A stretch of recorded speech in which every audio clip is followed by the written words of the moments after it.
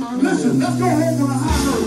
If you love Jesus, well I will try to do all over this building, if you love Jesus, if you know that you know that you know that you love Jesus, I dare you to stand up with your feet all over this building.